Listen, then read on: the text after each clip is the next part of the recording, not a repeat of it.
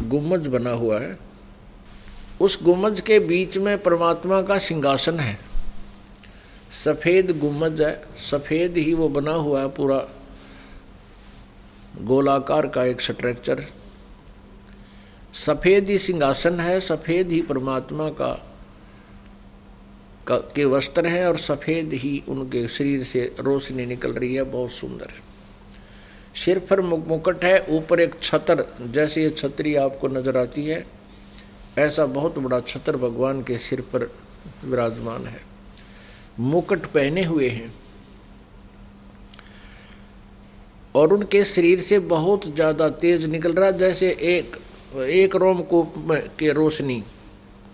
एक बाल का छिद्र होता है ये इसको रोमकूप कहते हैं। इस रोमकूप की इतनी रोशनी है परमात्मा के शरीर की, करोड़ सूर्य मिला दे, करोड़ चंद्रमा।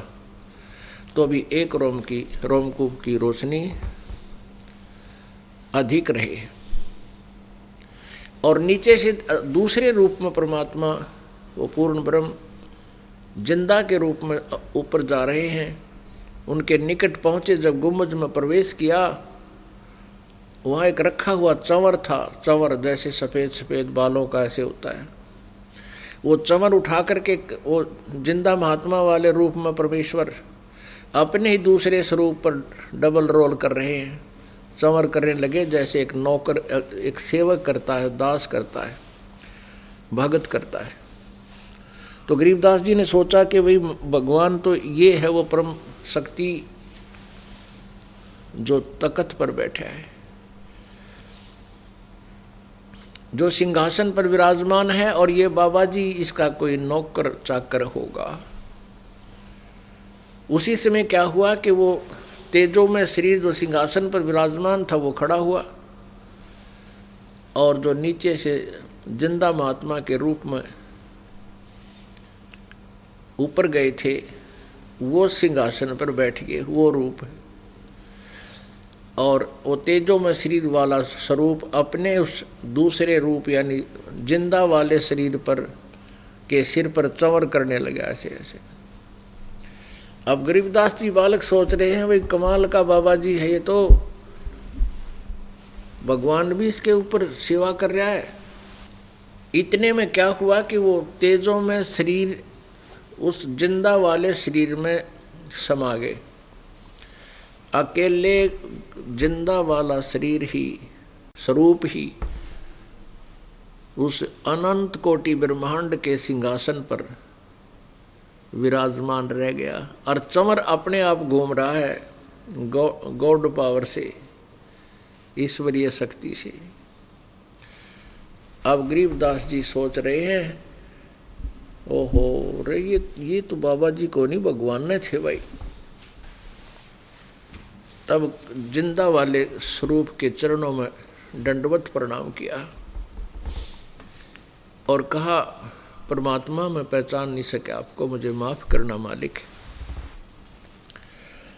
फिर गरीबदास जी को नीचे देखने को कहा कि नीचे देखो तुम्हारे लोक को होए वही उस लोक की तुलना में यहाँ पृथ्वी लोक, स्वर्ग लोक ब्रह्म लोक ये बहुत ही घटिया लोक नज़र आते हैं। ऐसा समझो जैसे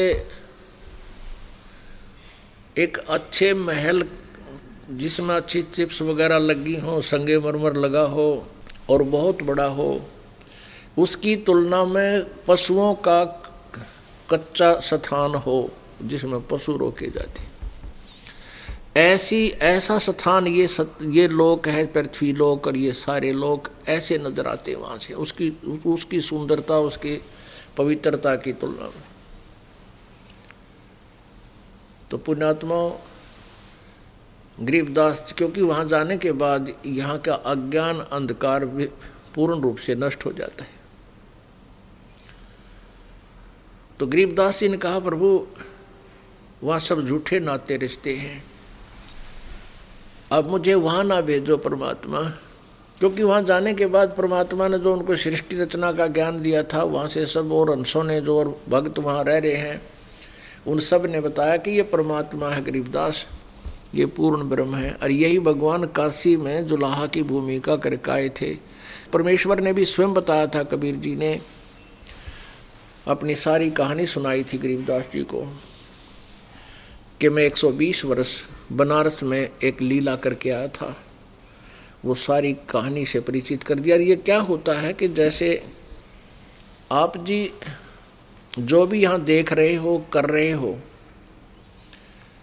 इसकी एक ऑटोमेटिकली फ़िल्म बन रही है। और वो फ़िल्म आप जी के अंतकरण में डिपॉजिट हो जाती है।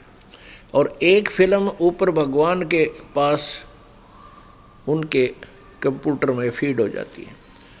तो उसमें पीछे जो भी यथार्थ घटनाएँ घटी हैं, उनका एज इट इज़ फ़िल्म होती है। मूवी होती है। तो गरीबदास जी के अंतकरण में परमात्मा कबीर जी ने अपनी वो, जो लीला वो की थी बनारस में और पहले भी जब आते रहे कभी किसी युगों में तो वो सारा उसके अंतकरण में फ़ीड कर दिया। और गरीबदास जी का ज्ञान योग खोल दिया ऑन कर दिया।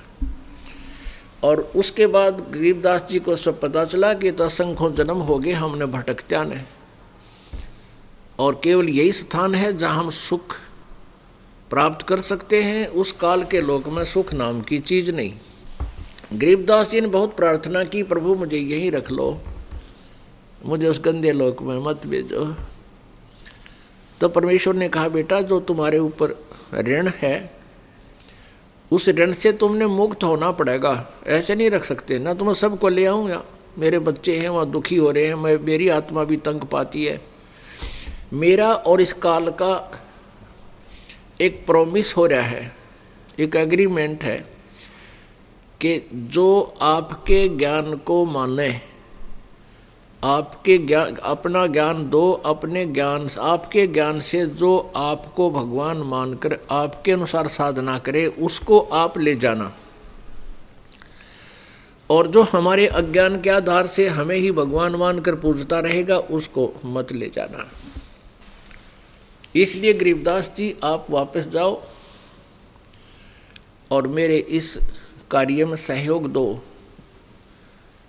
आप जाके इस ज्ञान का जो आपने आँखों देखा है, परमात्मा की महिमा, परमात्मा का स्वरूप, उनकी लीला, आप वहाँ जाकर गुणगान करो, प्यारी आत्माओं को बताओ।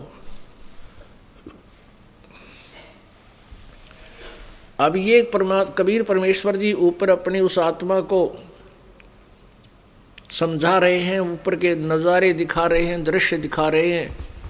पीछे से क्या हुआ कि जो पाली थे, अन्य गवाले थे, उन्होंने घंटे दो तीन घंटे के बाद देखा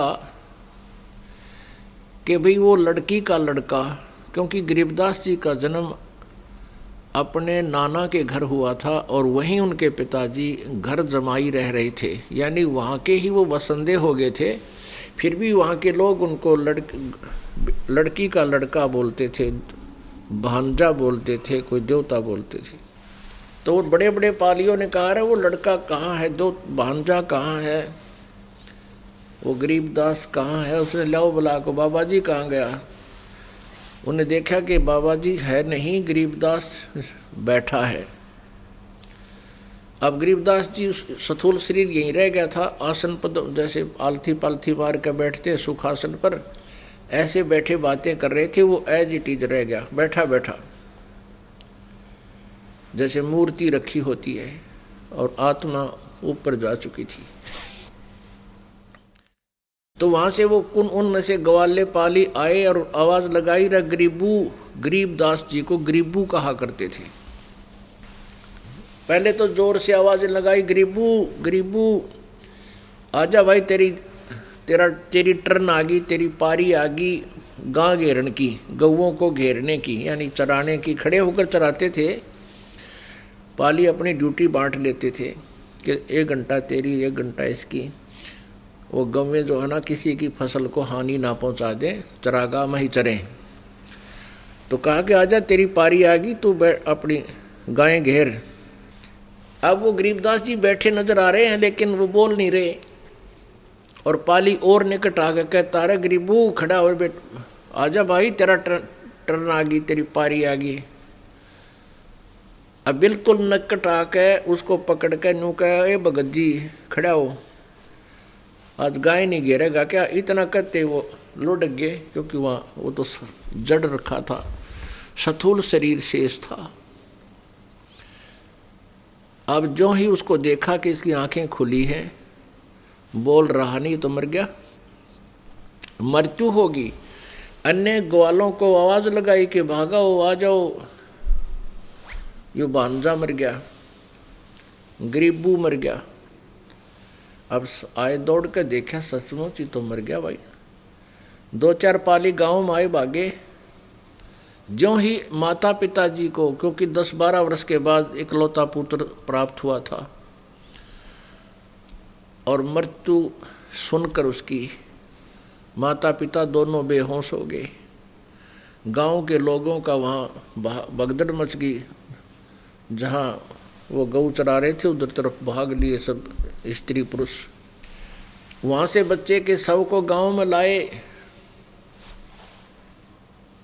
और जो ही उस बच्चे की अंतिम संस्कार की तैयारी की चिता पर रख दिया। मर चुकी थी, वहाँ से आत्मा नहीं थी। अग्नि जलाने ही वाले थे, तभी गरीबदास जी को परमेश्वर ने कहा कि जा प्यारी आत्मा, तेरा शरीर नष्ट करने जा रहे हैं गाँव वाले। और जा बेटा, ये अनमोल शरीर है, अनमोल जीवन है, तू अपना सफल कर।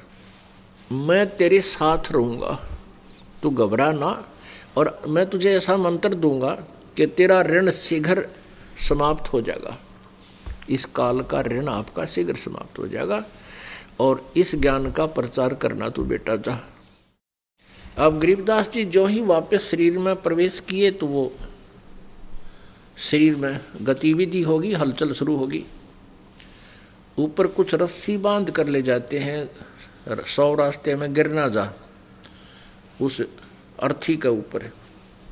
उस स्ट्रक जिस स्ट्रक्चर पर लकड़ी का लकड़ी का बना के ले जा रहे स्ट्रक्चर उसने अर्थी बोला है देसी भाषा में यहाँ।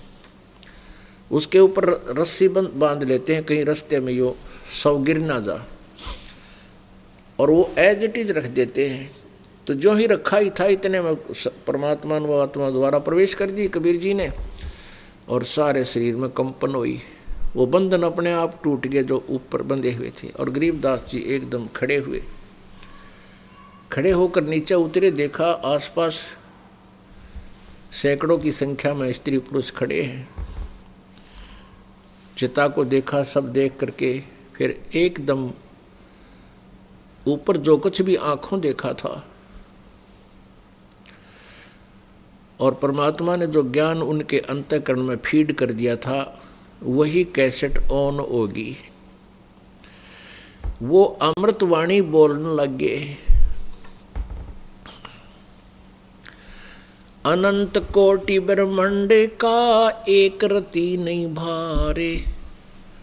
सतगुरु पुरुष कबीर हैं, कुल के सिरजनहार अलल पंख अनुराग है, सुन मंडल रे थीर दास गरीब उधारिया सतगुरु मिले कबीर। धर्म राय दरबार में दे कबीर तलाक। मेरे भूले चुके हंस को, तुम पकड़ियो मत कजा को तीन लोक का राज है ये, ब्रह्मा, विष्णु, महेश। ऊँचा धाम कबीर को बाणी बिर विदेश। ऐसे मतवाले हो गए। ऐसे गद गद गद वाणी से परमात्मा की आँखों देखी, महिमा सुनानी शुरू कर दी। अनंत कोट ब्रह्मंडे में बंदी छोड़ कहाए। सो तो एक कबीरे हैं जो जननी जने नमाए ना सतगुरु जनी जने, उनके माने बाप पिंड ब्रह्मंड से रहित है, जाना तीनों ताप अब इस तरह की जो बानी बोलन लग गए, गाँव वाले समझ नहीं पा रहे, ये लड़का बोल के है। तो उन्होंने सोचा, आप पर निष्कर्ष निकाल लग रहे गाँव